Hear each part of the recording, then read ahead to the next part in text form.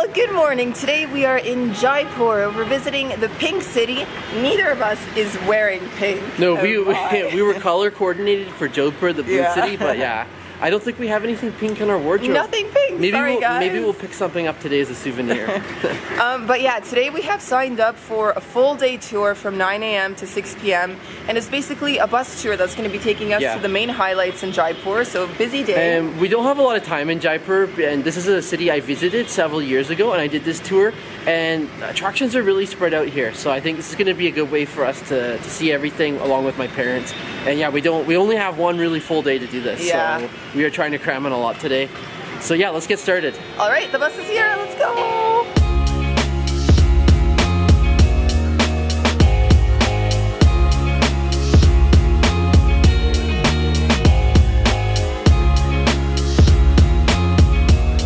So we are finally off the bus. We drove around for about an hour picking up people.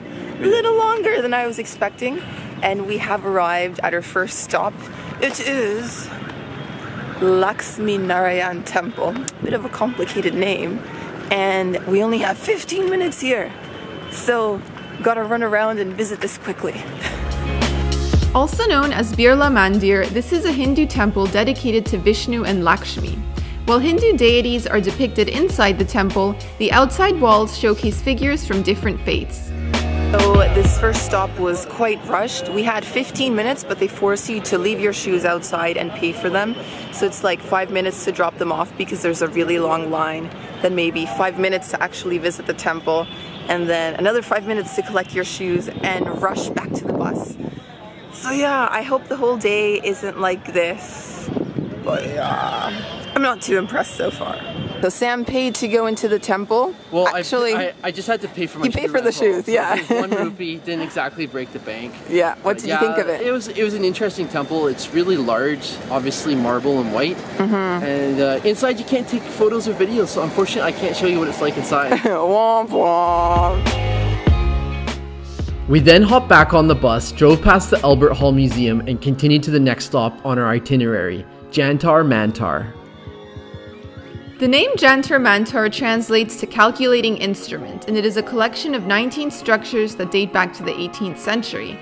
These instruments were used to predict eclipses, track stars, and measure time.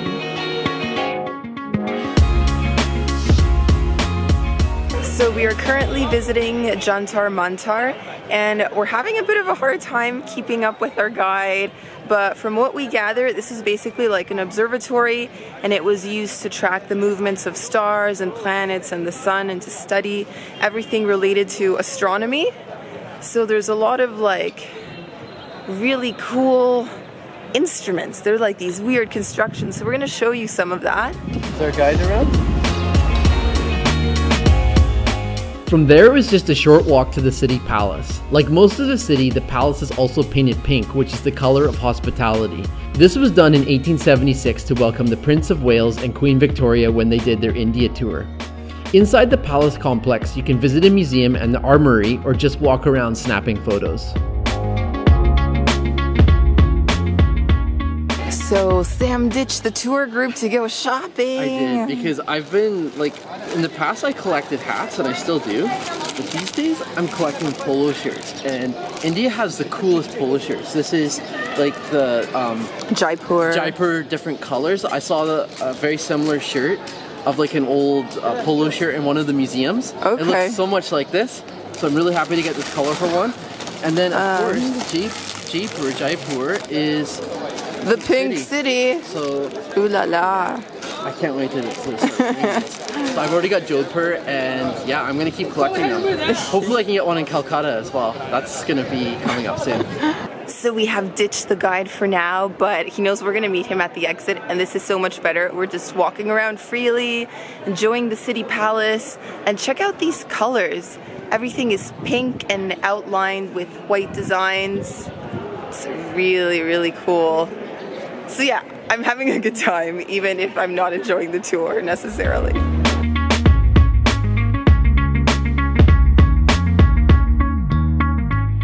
We have ended up at a place called Shopping Paradise. I'm pretty sure we're only here because the guide gets a commission, so he's trying to force everyone to come in, even though some people have already been shopping. So, not impressed.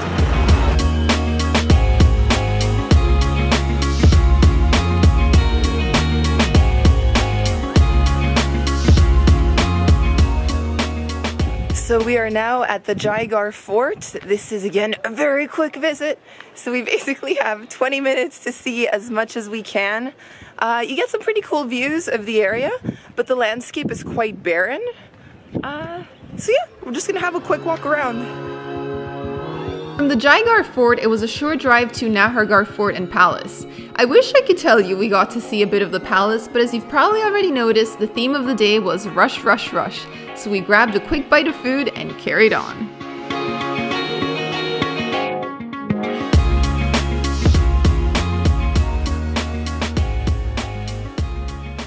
Hungry. I am. So we got pau bhaji. I think that's what it's called. I'm guessing the pau comes from the Portuguese influence. Pau is bread in Portuguese. And, and the bhaji came with cheese. That came with cheese, I think. Some of this, I don't even know what this is, but it's got melted cheese on top. Should I add some red onions? Sure. I'm gonna have some onion breath all day, and Sam's sitting next to me, so. Lucky me. How is that? Tasty? It's like a sloppy Joe. Indian sloppy Joe. Indian sloppy Joe. Mm.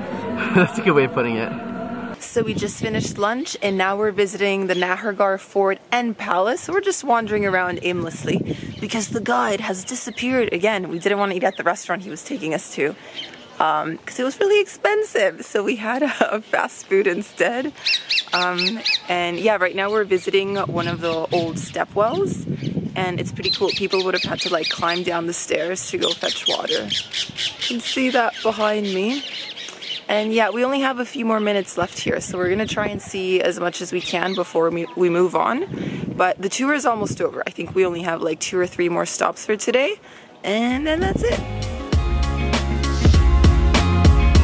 We then hopped back on the bus to go visit our third fort of the day, the Amber Fort. On the way down, we got a quick glimpse at Jal Mahal, the lake palace, which sits in the middle of Mansagar Lake. We noticed there were men with rowboats, so if you visit with a bit more time, that's an activity to consider. Next stop of the day is the Amber Fort. It's a little backlit at the moment, but there you have it in the background, and there's Sam taking some photos. What do you think? This is your second time here.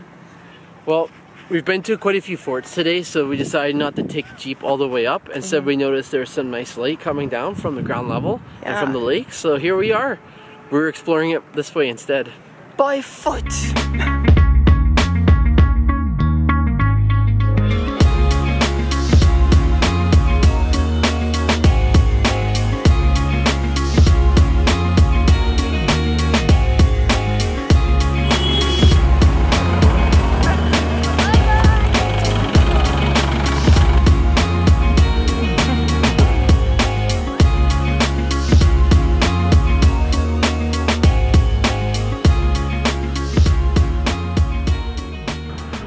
Friends, Audrey? Yes, always. Who's this? My new friend, my pup. Hello, fur buddy. Hello, pup. Hello, fur friend. Hello, fur friend. Fur friend is feeling shy at the moment. Hello, fur friend. Hello. Hello. Hello. Hello, fur friend. The rest of the day went downhill quickly when our guide started making commission-based shopping stops that weren't on the itinerary. So we just stopped filming, but we got back into Jaipur well after dark. Well, it is now time to wrap up our time in Jaipur. Yeah, so confession time, we're actually in Agra right now. Whoops, got on a train yesterday. got on the train yesterday. uh, the day after our tour, we just chilled out. We didn't film at all because yeah. the tour was kind of exhausting. It was. It really was. It really was. It just ended up going on for an hour and a half longer than it was supposed to, mm-hmm. and it was already a long tour. And so. it was mostly shopping stops at the end. Yeah. So like in terms of because there's all of the different forts are so spread out, it's it's not a bad way to see them, but at the same time you are very rushed. and you go to so many different places, I almost think doing it independently would be a little bit better. Mm-hmm. That would be our tip. But anyways, yeah, the adventures here in Agra are about to begin, so do follow us for that. Bye!